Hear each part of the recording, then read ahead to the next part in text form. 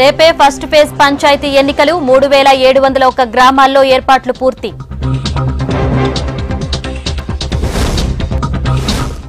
Ballot బాక్సులతో గ్రామాలకు సిబ్బంది సమస్యాత్మక కేంద్రాల్లో భారీ పోలీస్ భద్రత.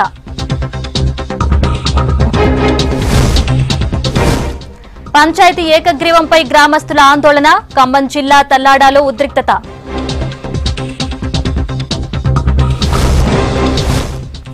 ట్రాయ్ రూల్స్ పై అవగాహన సదస్సు ఆపరేటర్లు అధైర్యపడవద్దన్న సుభాష్ రెడ్డి.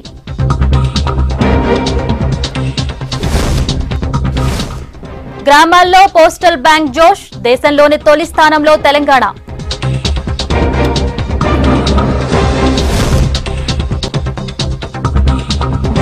మొదటి విడత పంచాయతీ ఎన్నికల ఏర్పాట్లు పూర్తయ్యాయి. పోలింగ్ సిబ్బంది గ్రామాలకు చేరుకున్నారు.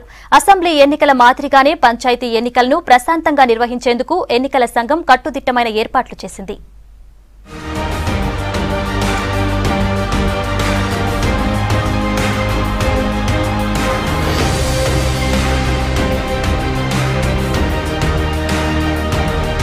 గ్రామాల్లో మొదటి విడత పంచాయతీ ఎన్నికలకు రంగం సిద్ధమైంది. మొత్తం నాలుగు వేల నాలుగు వందల డెబ్బై తొమ్మిది గ్రామాలకు ఎన్నికలు జరగాల్సి ఉండగా రిజర్వేషన్లు కోర్టు కేసులతో తొమ్మిది చోట్ల ఎన్నికలు నిర్వహించడం లేదు. ఫస్ట్ ఫేజ్లో ఏడు వందల అరవై తొమ్మిది పంచాయతీలు ఏకగ్రీవమయ్యాయి. ఇక మిగిలిన మూడు వేల ఏడు వందల ఒక్క గ్రామాల్లో సర్పంచ్ స్థానాలకు పన్నెండు వేల రెండు వందల రెండు మంది అభ్యర్థులు రంగంలో ఉన్నారు. పదివేల ఆరు వందల యాభై నాలుగు వార్డులు ఏకగ్రీవం కాగా మిగిలిన ఇరవై ఎనిమిది వేల తొమ్మిది వందల డెబ్బై ఆరు వార్డుల్లో డెబ్బై వేల తొంభై నాలుగు మంది అభ్యర్థులు పోటీ పడుతున్నారు. తొలి విడతలో లక్ష నలభై ఎనిమిది వేల ముప్పై మూడు మంది సిబ్బంది పాల్గొంటున్నారు. బ్యాలెట్ బాక్సులు పత్రాలతో ఎన్నికల సిబ్బంది గ్రామాలకు బయలుదేరి వెళ్ళారు. మొత్తం ఇరవై ఆరు వేల మంది పోలీసులతో బందోబస్తు నిర్వహిస్తున్నారు. సమస్యాత్మక ప్రాంతాల్లో అదనపు బలగాలను మోహరించారు. ఉమ్మడి ఆదిలాబాద్ జిల్లాలో పోలింగ్ సిబ్బందికి ఎన్నికల సామాగ్రి అందజేశారు. పగడ్బందీ ఏర్పాట్లు చేసినట్లు ఆదిలాబాద్ జిల్లా కలెక్టర్ తెలిపారు. ఆదిలాబాద్ జిల్లాలో నూట మూడు పంచాయతీలకు ఎన్నికలు జరగనున్నాయి. సెవెన్ టు వన్ ఎన్నికలు జరుగుతుంది. ఈ రోజు డిస్ట్రిబ్యూషన్ రోజు నేను ప్రత్యేకంగా వచ్చి వీళ్ళకి సూచనలు సలహాలు ఇవ్వడం జరిగింది. That is eighteen different types of ID cards ఏది వాళ్ళు వాడుకోవచ్చు ఇండెలిబుల్ ఇంక్లో ఎలా కేర్ఫుల్గా ఉండాలి అవన్నీ కూడా చెప్పడం జరిగింది. స్మూత్గా డిస్ట్రిబ్యూషన్ జరుగుతుంది. ఇది కాకుండా మేము మైక్రో అబ్జర్వర్స్ కూడా పెట్టడం జరిగింది. సీసీటీవీ కెమెరాస్ ప్రతి హండ్రెడ్ అండ్ త్రీ జీపీస్లో కూడా మేము సీసీటీవీ కెమెరా పెట్టిస్తున్నాం. ప్రత్యేకంగా ఎక్కడ కౌంటింగ్ జరగబోతుందో ఆ వన్ నాట్ త్రీ ప్లేసెస్లో కూడా మేము సీసీటీవీ కెమెరా పెట్టిస్తున్నాము. అది కాకుండా ఎనిమిది ప్లేసెస్లో లైవ్ వెబ్ టెలికాస్టింగ్ కూడా చేస్తున్నాము. ఖమ్మం జిల్లాలో ఆరు మండలాల్లో మొదటి విడత పంచాయతీ ఎన్నికలు జరగనున్నాయి. ప్రశాంత వాతావరణంలో ఎన్నికలు నిర్వహించేందుకు ప్రభుత్వ శాఖలు సన్నద్దమయ్యాయి మొత్తం నూట అరవై ఏడు గ్రామ పంచాయతీ సర్పంచ్లకు నాలుగు వందల నలభై ఆరు మంది అభ్యర్థులు బరిలో ఉన్నారు. సమస్యాత్మక గ్రామాలపై పోలీసులు నిఘా పెట్టారు. సీసీ కెమెరాలతో ఎన్నికల్లో పర్యవేక్షించనున్నారు. నా అపీల్ అంటే మీరు కొంచెం శాంతిపూర్ణంగా ధైర్యపూర్ణ శాంతిపూర్ణంగా మీరు ఎలక్షన్లో పార్టిసిపేషన్ చేయాలి. మీ ఇష్టం మీ ప్రకారం మీరు ఓట్ చేయండి. విలేజ్లో మంచి వాతావరణంలో శాంతిపూర్ణ కండిషన్లో మీరు ఓటింగ్ చేయండి. ఓటరు స్లిప్పులు అందని వారు టీపోల్ యాప్తో డౌన్లోడ్ చేసుకునే అవకాశం కల్పించింది ఎన్నికల సంఘం. పంచాయతీ పోలింగ్ ఉదయం ఏడు గంటల నుంచి ఒంటి గంట వరకు జరగనుంది. ఆ వెంటనే ఓట్ల లెక్కింపు ప్రారంభిస్తారు. అటు ఉమ్మడి మహబూబ్ నగర్ జిల్లాలోనూ ఎన్నికల విధుల్లో పాల్గొనే సిబ్బందిని ప్రత్యేక బస్సుల్లో తరలించారు. ప్రతి మండలాన్ని బస్సుకు మినిమం రెండు బస్సులు అరేంజ్ అయ్యేటట్టు చేసుకొని దీనికి ఆర్టీఏ సిబ్బంది ఈ ఇక్కడ నుంచి డీజిలు బత్తాలు అన్నీ కూడా ఒక ప్లానింగ్ ప్రకారం ఏర్పాటు చేయడం జరిగింది. ఈ బస్సెస్ ఆ మండలానికి అలాటేసాం సిబ్బంది కూడా అదే మండలానికి వెళ్తారు సిబ్బంది కూడా అదే మండలం డ్యూటీ చేస్తారు మళ్ళీ వచ్చేటప్పుడు కూడా అర్ధరాత్రి పదకొండు పన్నెండైనా మళ్ళీ ఇదే బస్సు రావచ్చు. అది ముఖ్యం ఫెసిలిటీ ముఖ్య ఫెసిలిటీ రిటర్న్ వచ్చినప్పుడు ఫెసిలిటీ కూడా చాలా ఇంపార్టెంట్ మరోవైపు ఉమ్మడి కరీంనగర్ జిల్లాలోని మూడు వందల ఎనభై నాలుగు గ్రామాల్లో ఫస్ట్ ఫేజ్ జరగనుంది. రెండు వేల ఎనిమిది వందల డెబ్బై ఎనిమిది వార్డుల్లో పోలింగ్ జరగనుంది. సిబ్బంది పోలింగ్ సామాగ్రిని తీసుకుని తమకు కేటాయించిన గ్రామాలకు బయలుదేరారు. గ్రామ పంచాయతీ వార్డు మెంబరు బ్యాలెట్ పేపర్లు అలాగే సర్పంచ్ బ్యాలెట్ పేపర్లు దానికి సంబంధించినటువంటి అన్ని ఇండెలబుల్ ఇంక్ కానీ లేకపోతే బూత్ కంపార్ట్మెంట్ కానీ బ్యాలెట్ బాక్స్ కానీ దానికి సంబంధించినటువంటి ఇంకా ఇతర స్టేషనరీ అంతా కూడా ఇవ్వడం జరిగింది. అయితే దానికి సంబంధించి ఇంకా ఏమైనా మీకు లోటుపాట్లు ఉన్నట్లుంటే చూసుకుంటే ఇక్కడే తగినటువంటివి సమకూరుస్తామని చెప్పి అధికారులు మాకు ఇవ్వడం జరిగింది. దానికి గాను మేమంతా క్రాస్ చెక్ చేసుకొని గ్రామాలకు బయలుదేరడానికి మేమంతా సిద్ధం చేసుకుంటా ఉన్నాము. మాకు అధికారుల సహకారం బాగా ఉంది. అటు రెండో విడతలో నాలుగు వేల నూట ముప్పై ఐదు గ్రామాల్లో ఎన్నికలు జరుగుతుండగా ఏడు వందల ఎనభై ఎనిమిది పంచాయతీలు ఏకగ్రీవమయ్యాయి. ఆయా గ్రామాల్లో ప్రచారం జోరుగా సాగుతోంది.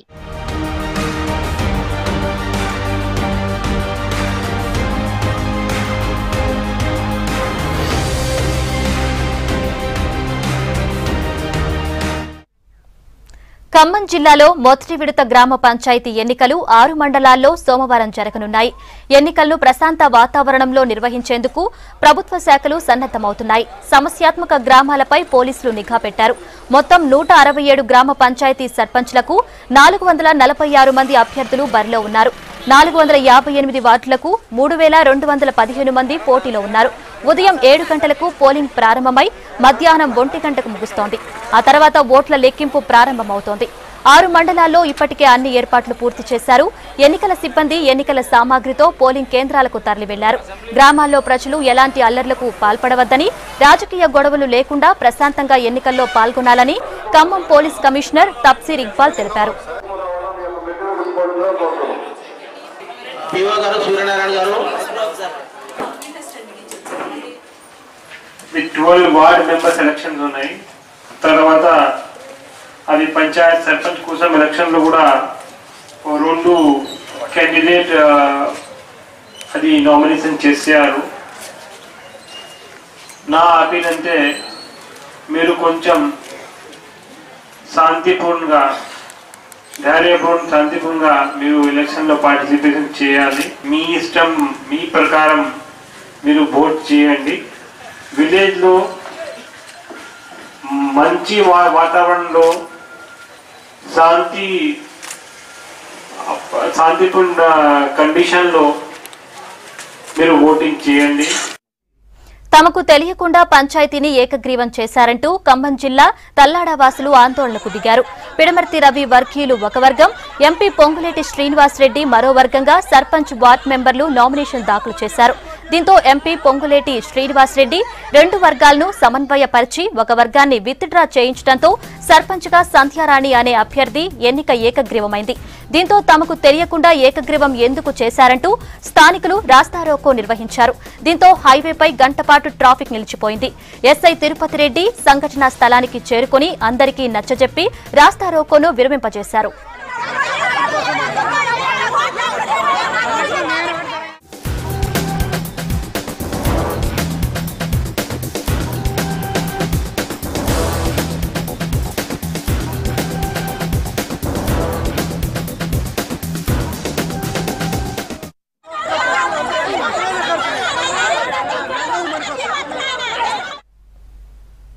నాగర్ కర్నూలు జిల్లాలో పంచాయతీ ఎన్నికల వేడి రగిలింది. నాగర్ కర్నూల్ బిజ్నాపల్లి తిమాజీపేట మండలాల్లో ఎన్నికలకు ఏర్పాట్లు చేస్తున్నారు. తొలి విడత ప్రచారం ముగిసినా మిగతా విడతలున్న గ్రామాల్లో ప్రచారం జోరందుకుంది. గ్రామాల్లో కుల సంఘాల మీటింగ్లు ఏర్పాటు చేస్తూ వరాలను ప్రకటిస్తూ గెలుపు కోసం విశ్వ ప్రయత్నాలు సాగిస్తున్నారు. పలువురు అభ్యర్థులు బహుమతులను సైతం ఆఫర్ చేస్తున్నారు. ఇప్పటికే గ్రూపులుగా ఏర్పడి ప్రచారం నిర్వహిస్తున్నారు.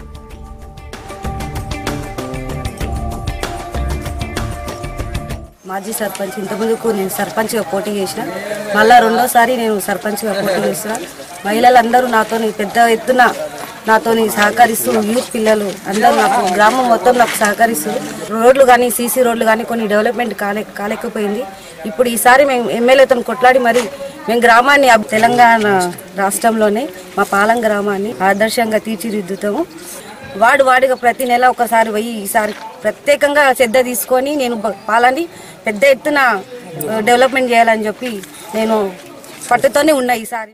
తొందరలోనే ఈ గ్రామానికి వంద ఇండ్లు ఫస్ట్ ఫేజ్లో ఇచ్చి ఈ గ్రామంలో ఉన్నటువంటి అందరినీ ఆదుకుంటా అని చెప్ చెప్పడం జరిగింది. మేము ఆ వంద ఇండ్లు తెచ్చి ప్రతి ఒక్క బీద వారికి మరి ఇండ్లు కట్టించే ప్రయత్నం చేస్తాం. కంపల్సరీ ఓ- ఈసారి కూడా ప్రజల ఆశీర్వాదంతో వాళ్ళ అండదండలతోటి వాళ్ళ ప్రేమాను రాగాలతోటి మళ్ళీ మేము ఒకసారి సర్పంచ్గా గెలిచి ఈ గ్రామాన్ని రాష్ట్రంలోనే ఒక మంచి ఆదర్శవంతమైనటువంటి గ్రామంగా తీర్చిదిద్ది మరి ఈ గ్రామాన్ని డెవలప్మెంట్ చేస్తామని చెప్పి ఆశిస్తున్నాం. మహబూబ్ నగర్ జిల్లాలో గ్రామ పంచాయతీ ఎన్నికలకు ఏర్పాట్లు పూర్తయ్యాయి. ఎన్నికల్లో పాల్గొనే సిబ్బంది కోసం ప్రత్యేకంగా బస్సులను ఏర్పాటు చేశారు. మహబూబ్ నగర్ నుంచి మరింత సమాచారం మా ప్రతినిధి బాలకృష్ణ అందిస్తారు. గ్రామ పంచాయతీ సంగ్రామానికి కౌంటౌన్ స్టార్ట్ అయింది. ఇరవై ఒకటిన జరిగే తొలి విడత ఎన్నికలకు సంబంధించి ఎన్నికలకు సంబంధించిన సిబ్బంది అంతా కూడా తరలి వెళ్తున్నారు. ప్రస్తుతం మహబ్నార్ హెడ్ క్వార్టర్లో ఉన్నటువంటి స్టేడియం గ్రౌండ్ నుంచి బస్సెస్ ఏర్పాటు చేయడం జరిగింది. మహబ్నార్ జిల్లాలో ఉన్నటువంటి ప్రతి మండలానికి కూడా రెండు రెండు బస్సులు ఏర్పాటు చేశారు. ఎన్నికలకు సంబంధించినటువంటి పీఓస్ ఏపీఓస్ ఓపీఓస్ అలాగే ఎన్నికల సిబ్బంది అంతా కూడా బస్సులో వెళ్ళడానికి ఆస్కారం ఏర్పడింది. సజావుగా స- సకాలంలో ఎన్నికలకు సంబంధించినటువంటి సామాగ్రి తీసుకుపోవడం ఎన్నికలు నిర్వహించడం దీంతోపాటు రిటర్న్ సేఫ్గా తిరిగి రావడానికి సంబంధించినటువంటి ఏర్పాట్లన్నీ కూడా జరిగాయి. ప్రస్తుతం మనతో పాటు ట్రాన్స్పోర్ట్ ఆఫీసర్ శ్రీనివాస్ రెడ్డి గారు ఉన్నారు. వారితో మాట్లాడదాం. ఏర్పాట్లు ఏ విధంగా చేశారు? ప్లానింగ్ ఎట్లా ఉంది? తర్వాత వాళ్ళ ఎన్నికలకు సంబంధించినటువంటి విధి విధానాలు దీంతోపాటు ట్రాన్స్పోర్టేషన్ ఫెసిలిటీకి సంబంధించి వారు మనతో మాట్లాడడానికి సిద్ధంగా ఉన్నారు. సార్ చెప్పండి. జీపీ ఎలక్షన్స్ మొదటి ఫేజ్ మహబూబ్నగర్ జిల్లా దృష్ట్యా నారాయణపేట మక్తల్ కాన్స్టిట్యూన్స్ నియోజకవర్గాలలో అక్కడ స్థానికంగా మొత్తం పది మండలాలకు నూట ముప్పై బస్సులు అవసరం ఉన్నది. అక్కడ అవైలబుల్ బస్సులు యాభై యూనిట్ల ఎనభై బస్సులను దేవరకథల నుంచి కోస్గి నుంచి కొడంగ కోయలకొండ నుంచి అరేంజ్ చేశాము. మిగిలిన ఒక థర్టీ బస్సెస్ సీసీ బస్సులు ప్రత్యేకంగా కలెక్టర్ ఆదేశాల మేరకు మహబూబ్ నగర్ నుంచి ఇవన్నీ ప్రైవేట్ బస్సెస్ ఫ్యాక్టరీ బస్సెస్. వీటిని కలెక్టర్ గారు ఏమన్నారంటే ఒక ఫిఫ్టీన్ హండ్రెడ్ మెంబర్స్ మహబూబ్నగర్ నుంచి స్టాఫ్ సిబ్బంది ముఖ్యంగా లేడీస్ సిబ్బంది వెళ్తారు. వీళ్ళను సేఫ్గా తీసుకెళ్ళి సేఫ్గా తీసుకురావడం. పోవడం పోతే తీసుకురావు సో ప్రతి మండలానికి ఇక్కడ ఉన్న ఎంప్లాయీస్ దృష్ట్యా దామరగిద్దకు ఐదు బస్సులు నార్వాకు నాలుగు బస్సులు నారాయణపేట ఐదు బస్సులు కోయిలకొండ మూడు బస్సులు మాగనూరు మూడు ధనవాడ మూడు కృష్ణా రెండు ఇత నార్వా నార్వా ప్రతి మండలాన్ని ఊటుకూరు. ప్రతి మండలాన్ని బస్సుకు మినిమం రెండు బస్సులు అరేంజ్ అయ్యేటట్టు చేసుకొని దీనికి ఆర్టీఏ సిబ్బంది ఈ ఇక్కడ నుంచి డీజిలు బత్తాలు అన్నీ కూడా ఒక ప్లానింగ్ ప్రకారం ఏర్పాటు చేయడం జరిగింది. దీనికి కూడా మాకు ముఖ్యంగా మా స్టాఫ్లో ఉన్న నరేష్ గారు కృష్ణవేణి మా ఇన్స్పెక్టర్స్ మా కానిస్టేబుల్స్ హోంగార్డ్స్ అదేవిధంగా మాకు కోఆర్డినేట్ చేస్తున్నటువంటి డాక్టర్ వెంకటేశ్వరరావు గారు ఇవన్నీ వీళ్ళందరూ ఏ ఎంప్లాయీస్ ఇద్దరు వెళ్తున్నారో మళ్ళీ వాళ్ళు అదే మండలాలకు పోయి ఎలక్షన్ అయిన తర్వాత కూడా మళ్ళీ ఇదే బస్సులో ఆ అర్ధరాత్రిలో వాళ్ళకు ట్రాన్స్పోర్ట్ అవైలబుల్ ఉంటట్టు కలెక్టర్ గారు ఆదేశం మేరకు ఏర్పాటు చేయడం జరిగింది. ఓకే. అంటే ఈ బస్సెస్ ఏ టైం వరకు ఆ స్టేషన్స్ రీచ్ అవుతాయి? వాళ్ళు అక్కడ నుంచి ఎట్లా వెళ్తారు? ఈ బస్సెస్ ప్రతి మండలం ఎంపీడీ ఆఫీస్కి వెళ్తుంది. ఎంపీడీ ఆఫీస్కి వెళ్ళినాక మళ్ళీ అక్కడ సాయంత్రం లోకల్ డ్యూటీ చేస్తుంది. ఈ బస్సెస్ ఆ మండలం కలాడేశాం సిబ్బంది కూడా అదే మండలంకి వెళ్తారు. సిబ్బంది కూడా అదే మండలం డ్యూటీ చేస్తారు. మళ్ళీ వచ్చినప్పుడు కూడా అర్ధరాత్రి పదకొండు పన్నెండైనా మళ్ళీ ఇదే బస్సు రావచ్చు. అది ముఖ్యం ఫెసిలిటీ. ముఖ్యం రిటర్న్ వచ్చినప్పుడు ఫెసిలిటీ కూడా చాలా important. Thank you sir so ఇది ఉమ్మడి మహబూబ్నగర్ జిల్లాలో పదహారు వందల అరవై గ్రామ పంచాయతీలు ఉన్నాయి ఇందులో మహబూబ్నగర్ జిల్లాలో చూస్తే మహబూబ్నగర్ జిల్లాలో ఏడు వందల ఇరవై ఒకటి గ్రామ పంచాయతీలు ఉన్నాయి. నాగర్కర్నూలు జిల్లాలో నాలుగు వందల యాభై మూడు గ్రామ పంచాయతీలు ఉన్నాయి. వనపర్తి జిల్లాలో రెండు వందల యాభై ఐదు గ్రామ పంచాయతీలు ఉంటే జోగులాంబ గద్వాల జిల్లాలో రెండు వందల యాభై ఐదు గ్రామ పంచాయతీలు ఉన్నాయి. తొలి విడతకు సంబంధించి ఎలాంటి అవాంఛనీయ సంఘటనలకు తావు లేకుండా ఎన్నికల సిబ్బందిని అంతా కూడా సజావుగా గమ్య గమ్యస్థానాలకు చేర్చడం అక్కడ ఎన్నికల విధులు ముగించుకున్న తర్వాత వాళ్ళని సేఫ్గా గమ్యస్థానాలకు తీర్చ తీసుకురావడానికి ఏర్పాట్లన్నీ చేశారు. ఇది మామనార్ జిల్లాలో తాజా పరిస్థితి. కెమెరామెన్ శ్రీనివాస కలిసి Balakrishna V six news Mahabubnagar. గ్రామ పంచాయతీ ఎన్నికల కౌంటౌన్ ప్రారంభమైంది. మూడు విడతల్లో జరగనున్న ఎన్నికల్లో భాగంగా రేపు తొలి విడత ఎన్నికలు జరగబోతున్నాయి. ప్రశాంతమైన వాతావరణంలో ఎన్నికల నిర్వహణకు బందోబస్తుతో పాటు సమస్యాత్మక ప్రాంతాల్లో వెబ్కాస్టింగ్ ద్వారా పోలింగ్ నిర్వహిస్తారు. ఉమ్మడి మహబూబ్ నగర్ జిల్లాలో ఎన్నికల ఏర్పాట్లు పూర్తి చేశారు.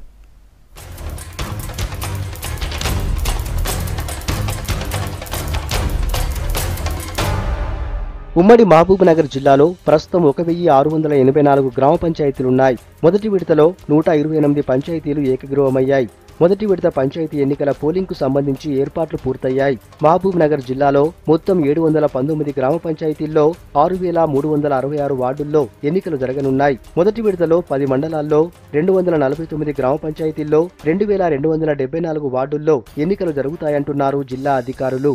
పది మండలాల్లో పది మండలాల్లో రెండు వందల నలభై తొమ్మిది గ్రామ పంచాయతీల్లో రెండు వేల రెండు వందల డెబ్భై నాలుగు వా పోలింగ్ స్టేషన్లు ఏర్పాటు చేసుకొని ఎలక్షన్కు చే చేయటానికి అన్ని ఏర్పాట్లు చేసుకోవటం జరిగింది. ఐదు వేల ఐదు వందల పద్దెనిమిది మంది పోలింగ్ స్టాఫ్ను కూడా దాంట్లో రెండు వేల ఐదు వందల రెండు రెండు వేల ఐదు వందల రెండు మందిని పీఓస్గా మరి మిగతా వాళ్ళని ఓపీఓస్గా కూడా ఎంపిక చేసుకొని రెండు రౌండ్ల ట్రైనింగ్ కూడా ఇవ్వటం జరిగింది. ఇక వనపర్తి జిల్లాలో పద్నాలుగు మండలాల్లో రెండు వందల యాభై ఐదు గ్రామ పంచాయతీలు రెండు వేల మూడు వందల నలభై ఎనిమిది వార్డులున్నాయి. తొలి విడత నాలుగు మండలాల్లో ఎనభై పంచాయతీల్లో ఏడు వందల ఇరవై ఎనిమిది వార్డుల్లో ఎన్నికలు జరగనున్నాయి. కిల్లా గణపురం రేవల్లి గోపాల్పేట వనపర్తి మండలాల్లో ఎన్నికలు జరుగుతాయి. జోగులాంబ గద్వాల జిల్లాలో రెండు వందల యాభై ఐదు గ్రామ పంచాయతీల్లో రెండు వేల మూడు వందల తొంభై వార్డులున్నాయి. మొదటి విడత గట్టు ధరూర్ కేటిదొడ్డి గద్వాల మండలాల్లోని నూట ఆరు గ్రామ పంచాయతీలు తొమ్మిది వందల డెబ్బై నాలుగు వార్డుల్లో ఎన్నికలు జరుగుతాయి. నాగర్ కర్నూలు జిల్లాలో నాలుగు వందల యాభై మూడు గ్రామ పంచాయతీల్లో నాలుగు వేల నలభై ఎనిమిది వార్డులున్నాయి. మొదటి విడత ఎన్నికల్లో ఏడు మండలాల పరిధిలోని నూట అరవై గ్రామాలు ఒక వెయ్యి మూడు వందల డెబ్బై ఆరు వార్డులకు ఎన్నికలు జరుగుతాయి. అచ్చంపేట అమ్రాబాద్ పదర బల్మూర్ లింగాల ఉప్పునుంతల వంగూరు మండలాల్లో ఎన్నికలు జరగనున్నాయి. క్రిటికల్ మరి హైపర్ సెన్సిటివ్ అనే పోలింగ్ కేంద్రాలు కూడా కొన్ని పోలీస్ డిపార్ట్మెంట్ ఎస్పీ గారు ఐడెంటిఫై చేయడం జరిగింది. వారు నిర్ణయించినట్లుగా మరి ఆ కేంద్రాల్లో మరి వెబ్కాస్టింగ్ కొన్ని చోట్ల అలాగే మరి వీడియోగ్రఫీ కొన్ని చోట్ల ఇంకా కొన్ని చోట్ల మైక్రో అబ్జర్వర్స్ కూడా ఏర్పాటు చేయడం జరిగింది. వారందరికి కూడా కావాల్సినటువంటి ట్రైనింగ్లు మేము ఇచ్చాము. అట్లనే వారికి కావాల్సినటువంటి లాజిస్టిక్ అరేంజ్మెంట్స్ కూడా చేయడం జరిగింది. మొత్తానికైతే జిల్లా అంతా సజావుగా ఎన్నికలు ఫేజ్ మేనలో జరుపుకునేటందుకు పూర్తి ఏర్పాట్లు జిల్లా కలెక్టర్ గారు చేశారు. వారి పర్యవేక్షణలో మేమంతా అహర్నిశలు పనిచేస్తున్నాం. జిల్లాలో ఎన్నికల్ని మేము సక్సెస్ఫుల్గా నిర్వహిస్తాం. రేపు జరిగే మొదటి విడత ఎన్నికల నిర్వహణకు జిల్లా అధికారులు అన్ని ఏర్పాట్లు పూర్తి చేశారు. ఎన్నికల సిబ్బందికి శిక్షణ పూర్తయింది. బ్యాలెట్ బాక్సులు బ్యాలెట్ పేపర్లు ఇతర ఎన్నికల సామాగ్రిని గ్రామ పంచాయతీల వారీగా సిద్ధం చేశారు. ప్రశాంతమైన వాతావరణంలో ఎన్నికల నిర్వహణకు బందోబస్తుతో పాటు సమస్యాత్మక ప్రాంతాల్లో వెబ్కాస్టింగ్ ద్వారా పోలింగ్ నిర్వహించనున్నారు. తొంభై ఏళ్ళ వయసులో తాను సైతమంటూ ఓ వృద్ధ మహిళ ఎన్నికల బరిలో ఉండటం అందరినీ ఆశ్చర్యానికి గురిచేస్తోంది. గతంలో అనేక సార్లు పలు పదవులను చేపట్టి మరోసారి స్థానిక ఎన్నికల్లో పోటీ చేస్తోంది. యువతి యువకులకు సమానంగా ఎన్నికల్లో ప్రచారం ఉత్సాహంగా పాల్గొంటుంది. ఖమ్మం జిల్లా పెనుబల్లి మండలం తుమ్మలపల్లి గ్రామానికి చెందిన ఈడా రత్తమ్మ తొంభై ఏళ్ళ వయసులోనూ మరోసారి సర్పంచ్ అభ్యర్థిగా నామినేషన్ వేశారు. ఈమె భర్త ఈడా చెన్నయ్య రెండుసార్లు సర్పంచ్ అయ్యారు. భర్త స్ఫూర్తితో ఆయన బాటలోనే వెళ్తోంది రత్నమ్మ ఇప్పటికే తుమ్మలపల్లి గ్రామం నుంచి మూడుసార్లు సర్పంచ్ అభ్యర్థిగా పోటీ చేశారు. రెండుసార్లు సర్పంచ్గా గెలిచి ఒక్కసారి ఓడిపోయారు. పెనుబల్లి మండలం ఏర్పడిన తర్వాత జడ్పీటీసీ సభ్యురాలుగా పనిచేశారు. అంతా కూడా నన్ను సర్పంచ్గా ఉంచాలని గ్రామ సభలో జనం అంతా కూడా అన్నారు. చెరువు తూములు కట్టించాం రోడ్డు పూంచాం ఇటువంటి పనులన్నీ చేయించాం. మళ్ళీ మీరే ఉండాలని కోరుకున్నారు. ఈ వయసులో నేను ఉండలేదని కూడా చెప్పాను. చెప్పి అందరూ కూడా మీరు ఉండాలని పట్టుదల పట్టారు. అందరికీ సంతోషంగా ఉంది. నేను ఉంచోవటం. వయసు రీత్యా ఆమె తొంభై సంవత్సరాలు అయినప్పటికీ గ్రామంలోని ప్రజలందరూ కూడా ఏకతాటి మీద మీరే నుంచోవాలని బాగా ఇంట్రెస్ట్ చెప్పడం వల్ల మేము కూడా ఆమె ఆరోగ్యాన్ని మంచిగా ఉంది కాబట్టి ఏ ఇబ్బంది లేదని చెప్పని మేము యాక్సెప్ట్ చేసాము. గ్రామంలో అభివృద్ధి కార్యక్రమాలు కూడా మేము అన్ని విధాలు సహాయం చేస్తాము. స్కూళ్ళు ఊళ్ళో స్కూల్ ఉంది. స్కూల్కి కూడా మేము అనేక డెవలప్మెంట్ యాక్టివిటీ చేసాము. అందుకని గ్రామంలో కూడా మా కుటుంబం పట్ల ఒక మంచి అభిప్రాయం ఉంది.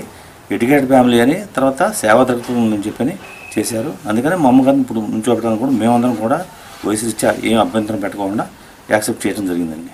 రత్తమ్మ సర్పంచ్గా ఉన్నప్పుడు జరిగిన అభివృద్ధే తప్ప ఆ తర్వాత అభివృద్ధి జరగలేదంటున్నారు గ్రామస్తులు. ఊరి జనం నుండి ఒత్తిడి రావడంతో నాలుగోసారి సర్పంచ్ అభ్యర్థిగా నామినేషన్ వేశారు రత్తమ్మ.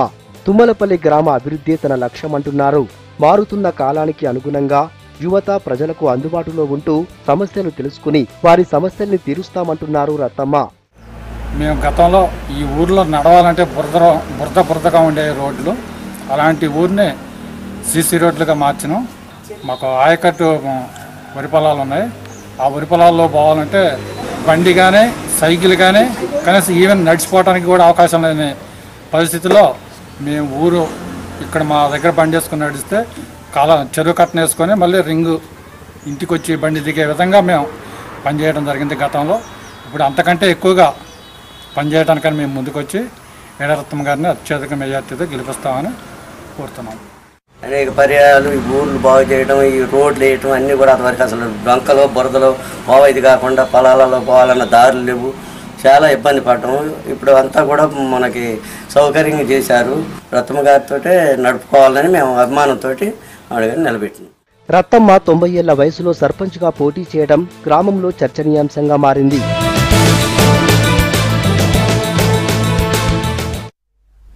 ఒకప్పుడు ఉత్తరాలు మనీ ఆర్డర్లు రిజిస్టర్ పోస్టులకు పరిమితమైన పోస్టాఫీసులు కాలంతో పాటు తమ సేవల్లో మార్పులు చేస్తూ ప్రజలకు చేరువవుతున్నాయి.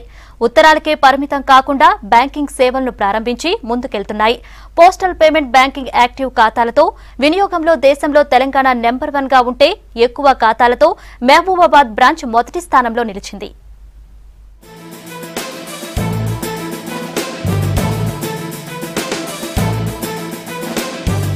సుదూర ప్రాంతాలకు ఉత్తరాలను చేరవేసేందుకు ప్రారంభించిన తపాలా వ్యవస్థ కాలానుగుణంగా తన సేవలను విస్తరిస్తోంది. Parcel service EMS delivery logistics deposit account రంగాలలో తనదైన ముద్ర వేసింది. పల్లెల్లో కూడా స్మార్ట్ ఫోన్ వినియోగం పెరగడంతో వివిధ ప్రైవేట్ బ్యాంకింగ్ సంస్థలు తీసుకొచ్చిన మార్పులతో తపాలా వ్యవస్థ దెబ్బతింది. దీంతో అనేక ఇబ్బందులను సవాళ్ళను ఎదుర్కొంటూ ఎప్పటికప్పుడు మార్పులు చేపట్టింది సంస్థ. ఈ క్రమంలోనే గతేడాది దేశవ్యాప్తంగా ఉన్న అన్ని పోస్టాఫీసుల్లో పోస్టల్ పేమెంట్ బ్యాంకు సేవలను ప్రారంభించింది.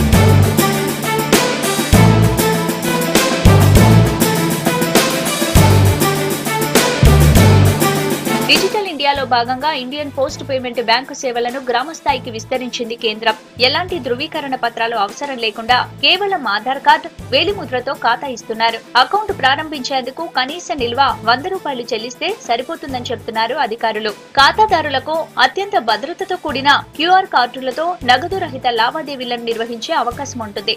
దేశంలో మొత్తం ఆరు వందల యాభై బ్రాంచీల్లో ఆధునిక సాంకేతిక తీసుకొచ్చారు. ఇందులో గ్రామీణ ప్రాంతాల్లో ఇరవై తొమ్మిది పోస్టాఫీసులున్నాయి ఆరు వందల యాభై కస్టమర్ యాక్సెస్ పాయింట్లను ఏర్పాటు చేసి పోస్ట్ పేమెంట్ బ్యాంకు ద్వారా ఖాతాదారులకు ఇంటి దగ్గరే సేవలు అందిస్తున్నారు.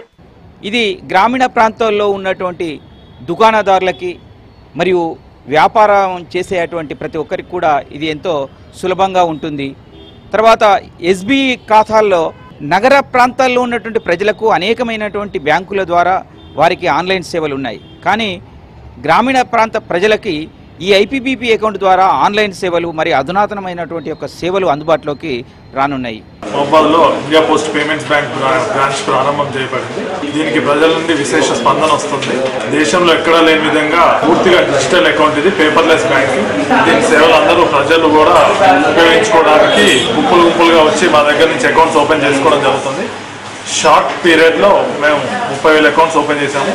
ఈ సేవల్ని ఇప్పుడు ప్రస్తుతం మహబాద్ హెడ్ ఆఫీస్ కింద ఉన్నటువంటి నూట ఎనభై బ్రాంచ్ ఆఫీసులలో విస్తరించడం జరిగింది.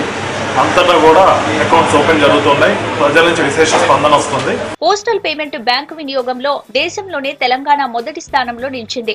మహబూబాబాద్ బ్రాంచ్లో ఇరవై నాలుగు వేల ఆరు వందల తొంభై ఆరు మంది ఖాతాదారులుండగా పద్దెనిమిది వేల నాలుగు వందల మూడు ఖాతాలు యాక్టివ్గా రన్ అవుతున్నాయి. మధ్యప్రదేశ్లోని ఇండోర్ బ్రాంచ్ రెండవ స్థానంలో కొనసాగుతుండగా ఇక్కడ మూడు వేల తొమ్మిది వందల ఎనభై ఎనిమిది యాక్టివ్ ఖాతాలున్నట్లు రికార్డులు స్పష్టం చేస్తున్నాయి. మూడో స్థానంలో ఉన్న రాష్ట్రంలోని కోల్హాపూర్ బ్రాంచ్లో ఐదు వేల మూడు వందల నలభై రెండు యాక్టివ్ ఖాతాలున్నాయి ఈ పోస్ట్ ఆఫీస్ అనేది నూట యాభై సంవత్సరాల క్రితం ఏర్పాటు చేసి భారత ప్రభుత్వం అందరికీ కూడా అందుబాటులో ఉండడానికి ప్రతి విలేజ్లో కూడా ఒక పోస్ట్ ఆఫీస్ అనేది ఏర్పాటు చేసింది మన అందరి సౌకర్యం కోసం గతంలో ఉత్తరాలు మాత్రమే అనుకునేది. ఇప్పుడు ఆర్థిక రంగంలో కూడా అడుగుపెట్టేసి ప్రైవేట్ బ్యాంకులో ధీటుగా కూడా గవర్నమెంట్ కూడా ఆన్లైన్ బ్యాంకింగ్ లాగా మొత్తం ఖాతాలు ఓపెన్ చేస్తూ వీళ్ళు ఆన్లైన్లో ట్రాన్సాక్షన్ చేస్తున్నారు. మీరు ఎక్కడి నుంచి ఎక్కడికైనా ఏ అకౌంట్ నుంచి ఎవరికైనా కూడా ఏ బ్యాంక్ నుంచి ఏ బ్యాంకుకైనా ఏ పోస్ట్ ఆఫీస్ నుంచి ఎక్కడికైనా కూడా ఆన్లైన్ ట్రాన్స్ఫర్ చేసుకోవచ్చు.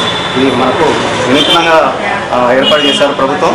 చాలా ఆనందదాయకం. ఈ మైబాద్ పోస్ట్ ఆఫీస్ గత ఇరవై సంవత్సరాలుగా నేను పొదుపు చేసుకుంటున్నాను. దాంట్లో ధీటుగా ఈ పోస్ట్ ఆఫీస్ పనిచేస్తున్నాయి.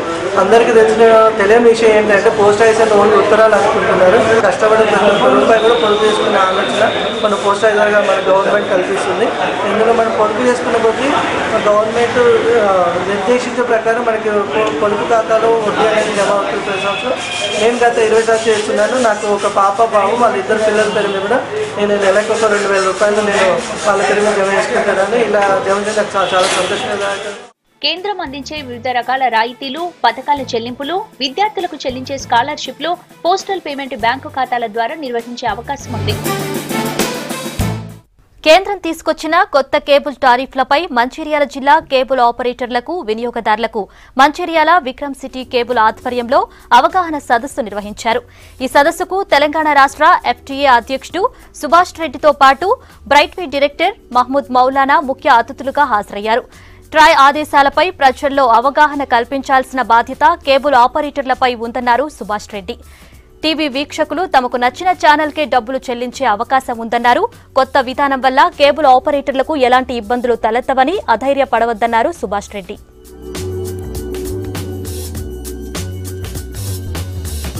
ఏదైతే ట్రాయ్ భారతదేశంలో ఉన్నటువంటి ప్రతి కేబుల్ టీవీ వినియోగదారుడు ఖచ్చితంగా టారిఫ్ ఆర్డర్ ప్రకారం వారి యొక్క ఎంఆర్పి రేటుని నచ్చిన ఛానళ్ళకు నచ్చిన రేటుకు వారికి ఇచ్చే విధంగా తయారు చేసినటువంటి విధానాన్ని ఈ నెల నా ముప్పై ఒకటి ముప్పై ఒకటో తారీఖుతోని ఇంతకుముందు వస్తున్న విధానం ఆగిపోయి ఫిబ్రవరి ఫస్ట్ నుంచి ఆ రకంగా సిగ్నల్స్ని అందుబాటులోకి రాబోతున్నాయి.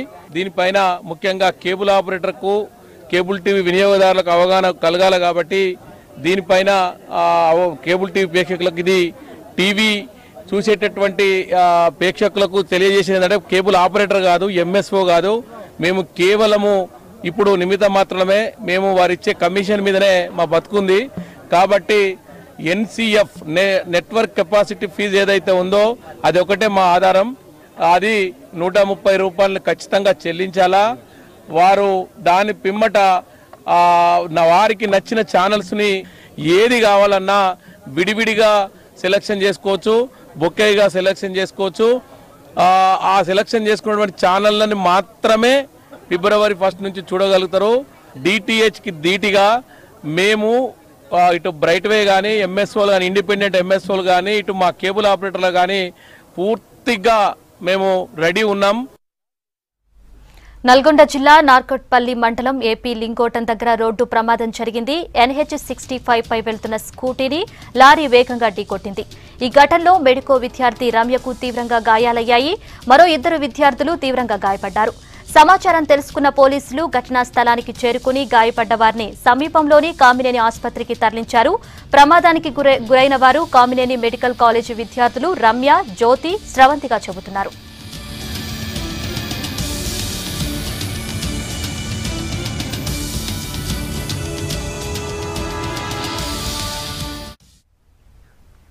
మల్లన్న సాగర్ రిజర్వాయర్ నిర్మాణానికి అడ్డంకులు తొలగిపోయాయి. ప్రాజెక్టు భూములు ప్రాజెక్టుకు భూములు ఇచ్చేందుకు రైతులు ముందుకొస్తున్నారు. మరో రెండు మూడు రోజుల్లోగా పూర్తి స్థాయిలో భూసేకరణ పూర్తి కానుంది. సిద్దిపేట ఆర్టీఓ ఆఫీసులో ప్రత్యేకంగా కౌంటర్ ఏర్పాటు చేసి భూ రిజిస్ట్రేషన్ చేస్తున్నారు అధికారులు. సిద్దిపేట జిల్లా తోగుట కొండపాక మండలాల సరిహద్దులో యాభై టీఎంసీల సామర్థ్యంతో నిర్మించనున్న మల్లన్న సాగర్ ప్రాజెక్టుకు లైన్ క్లియర్ అయింది. ఈ ప్రాజెక్టుకు సంబంధించిన భూసేకరణ దాదాపుగా పూర్తయింది. ఇప్పటికే పదమూడు వేల ఎనిమిది వందల డెబ్బై ఎకరాల భూమిని సేకరించిన అధికారులు మరో వంద ఎకరాలు సేకరిస్తే భూసేకరణ పూర్తయినట్లే. దీంతో మరో రెండు మూడు రోజుల్లోగా దీన్ని పూర్తి చేస్తామంటున్నారు అధికారులు.